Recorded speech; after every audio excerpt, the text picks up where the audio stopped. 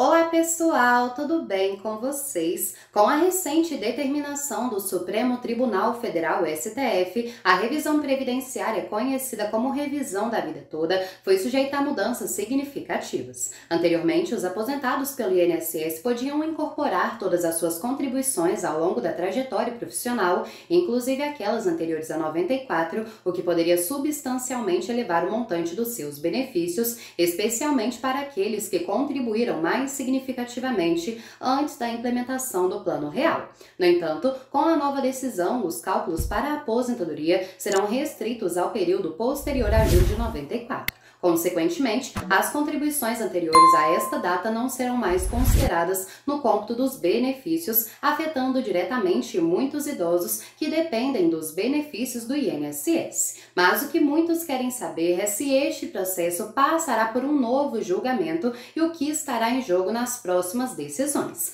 E é exatamente sobre isto que falaremos a seguir no decorrer deste vídeo. Mas antes de começarmos, eu gostaria de pedir para que você não se esqueça esqueça de deixar o seu like, de se inscrever aqui no nosso canal, de ativar as notificações clicando no sininho que fica aqui embaixo para você não perder todas as novidades que trouxermos por aqui.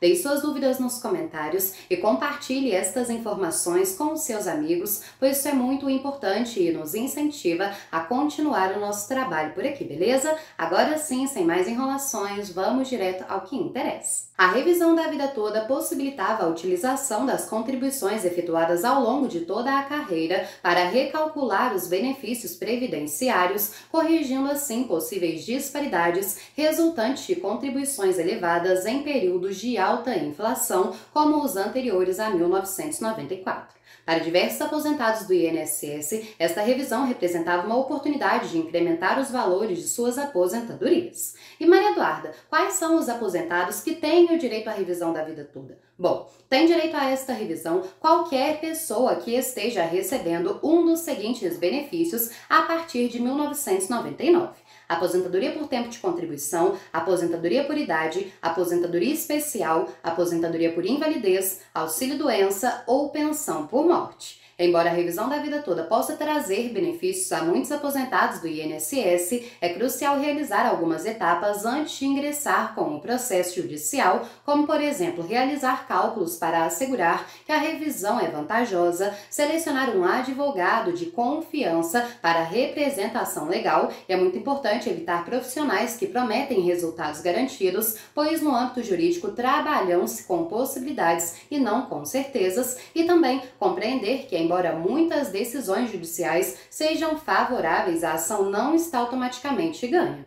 E para quem ainda tem dúvidas sobre o que é a revisão da vida toda, atenção aqui agora. A revisão da vida toda, também conhecida como revisão da vida inteira, é sem dúvida o modelo mais popular entre os beneficiários do INSS. O seu propósito é considerar no cálculo da aposentadoria todos os períodos de contribuição junto ao INSS. Por esta razão, em 2022, o Judiciário autorizou este modelo de revisão do INSS, permitindo que trabalhadores com salários mais elevados anteriores a 1994 pudessem pleitear o benefício. Aqueles que começaram a contribuir após este período ou tiveram redução salarial após 94 também têm direito de requerer a revisão da vida toda junto ao INSS. Até a implementação da reforma da Previdência em novembro de 2019, a revisão da vida toda era restrita ao cálculo da aposentadoria apenas para trabalhadores que começaram a contribuir após julho de 94, data de início do Plano Real.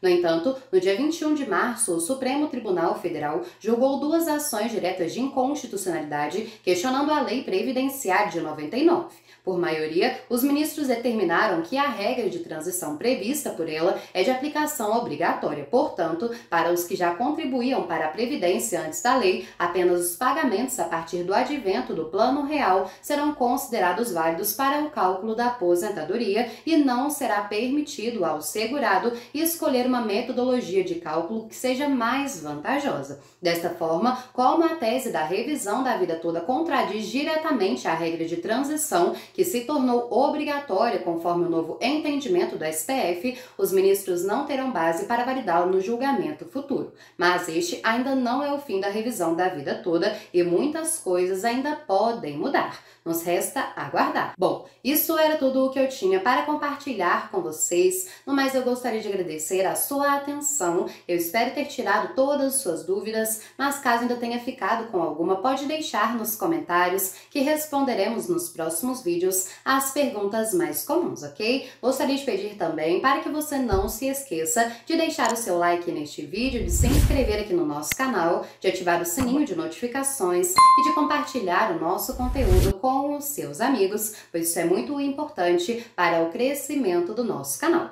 Desejo a todos uma excelente sexta-feira, aguardo por vocês em nossos próximos vídeos. Um grande abraço e tchau, tchau!